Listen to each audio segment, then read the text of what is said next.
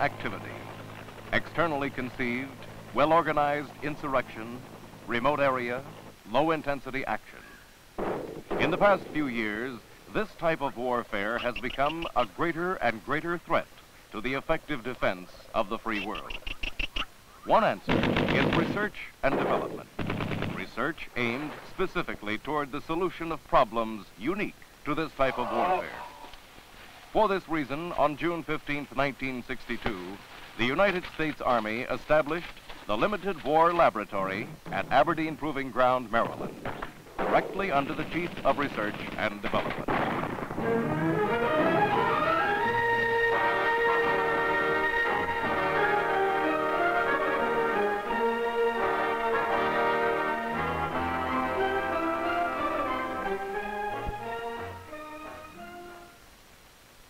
War Laboratory is composed of a carefully selected blend of highly qualified officers and civilian scientists and engineers. Military officers are selected from each Army combat arm. As a group, they cover every facet of military operations. The scientists and engineers represent a broad coverage of most of the technical and scientific disciplines.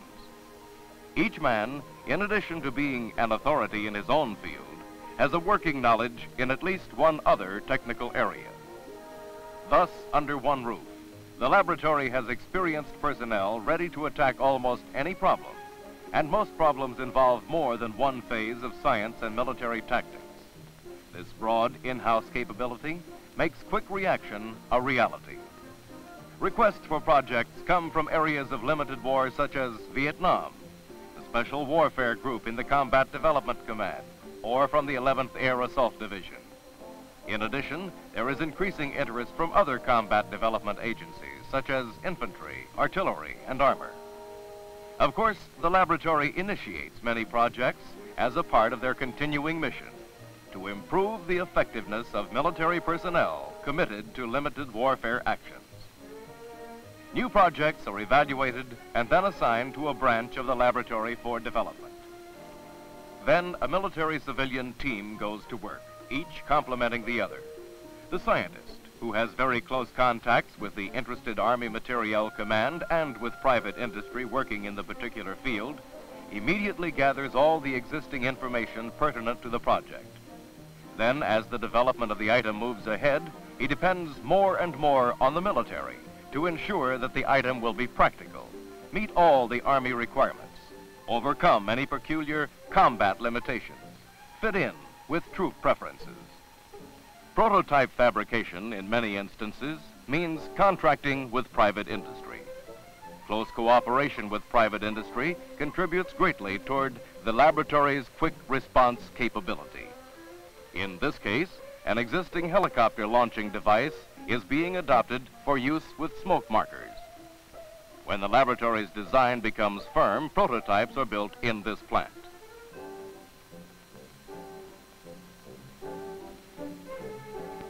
Of course, the Limited War Laboratory itself has complete technical facilities, including a drafting and engineering design section, a machine shop, carpentry facilities, and excellent prototype making capabilities. In addition, a primary reason for locating at Aberdeen Proving Ground was to have the use of its excellent test facilities. 75,000 acres of every type of terrain and obstacle that can be thought of, right down to jungle-like areas rice paddies, and inland waterways. Testing under simulated environmental conditions, the quickest, most effective way to prove a new piece of equipment. Once a prototype has been developed and preliminary tests completed, comprehensive, exhaustive field tests are conducted under actual operating conditions. This troop landing smokescreen system is a good example of the laboratory's usual method of operation. Standard XM3 2.75-inch launcher racks and standard AN M8 smoke grenades combined with laboratory-developed adapters result in a new capability. Take existing hardware, modify it, and tailor it to answer a problem. That's one path followed by the Limited War Laboratory. A continuing interest of the munitions branch is the development of counter-ambush weapons. One approach involves the mounting of Claymorette mines on the side of a truck.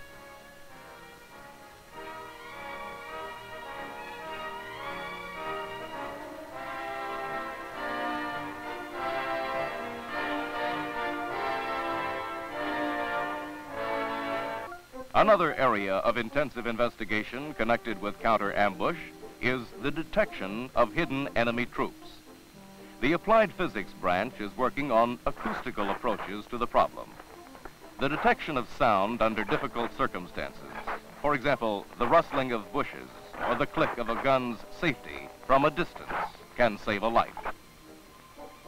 Another device under development is an acoustic detector to tell a helicopter pilot when he is being fired upon from the ground, from what quadrant, and what type of fire.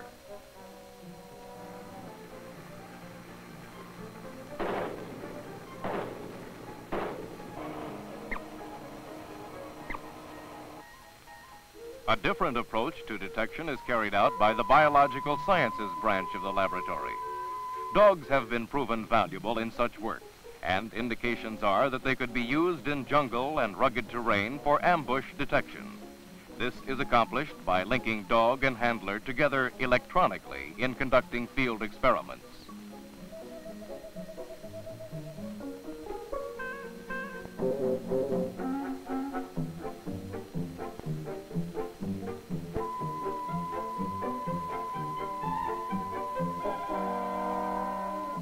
Biological sciences teams also work on projects designed to increase the well-being of the combat soldier.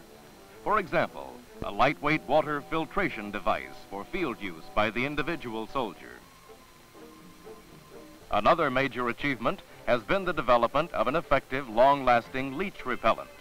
Most jungle-type areas, such as Vietnam, are infested with leeches, and these creatures, if unchecked, can seriously impair the efficiency of a combat soldier. Projects in the chemical and explosives branch are many and varied, and here too there is a deep involvement in personnel detection. Chemical techniques are being employed to sense the proximity of humans under concealment. Another major area of interest is in personnel identification and the marking of areas such as landing fields, drop points, and trails for day and night operations.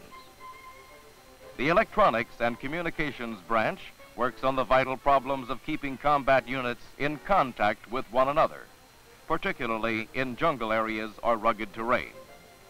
This AN PRC-64 radio weighs less than 11 pounds and can obtain reliable voice ranges as far as 200 miles, CW ranges to 500 miles when operating to a fixed base station. Final testing is done with troops in the field, many times in actual combat areas such as Vietnam. In this way, any refinements suggested by actual usage can be incorporated in the final equipment.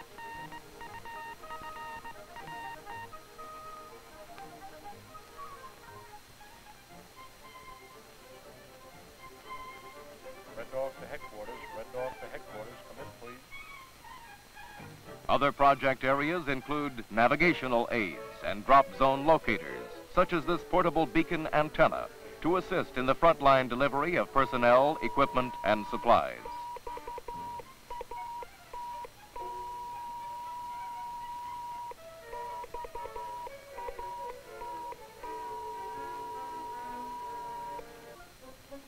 In the Environmental and Survival Branch, the emphasis is on the well-being and safety of troops, plus lightening their combat load without compromising effectiveness.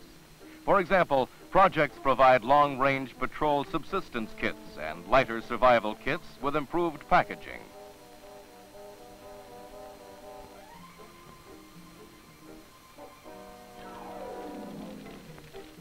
The food kit, including a main dish and supplementary items, weighs only 10 ounces. Heat a canteen cup of water, pour it in the packet, wait 20 minutes, and you have a thousand calorie meal. Another project involves an air transportable service shelter to protect helicopter maintenance personnel from heat, rain, and insects.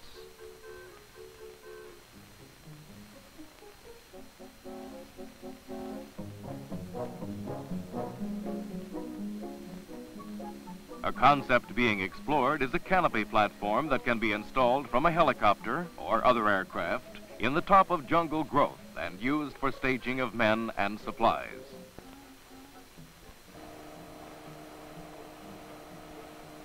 As with all laboratory projects, items that demand special test environments are taken anywhere in the world. Panama, Alaska, the Mojave Desert, or Vietnam. Finally, there's the mobility branch of the Limited War Laboratory. Here are a couple of representative projects. First, the man-propelled load-carrying device. It's designed to increase the load-carrying capabilities of small units operating in areas inaccessible to most ground vehicles, thus helping to answer the problem of how to support tactical and resupply missions over marsh areas, rice paddies, and narrow jungle trails. Testing was conducted by Special Forces troops before the device was turned over to the Test and Evaluation Command for service test. Although items developed by the Limited War Laboratory are tailored for remote area usage, many also meet all Army requirements. A second mobility project is a device to lower paratroopers to the ground after a tree landing or to safely lower personnel or cargo to the ground from a helicopter. This is the Limited War Laboratory. Projects are underway in many different areas. And in the short time since June 1962, significant items have been developed, tested, and are being used in combat in Vietnam. Many more items are in final testing. Here is a careful mixture of civilian military talents that embrace all the scientific disciplines and combat arms under one roof to provide quick reaction to the problems of limited warfare in remote areas. The Limited War Laboratory, research and development to answer the combat soldier's needs and answer them fast.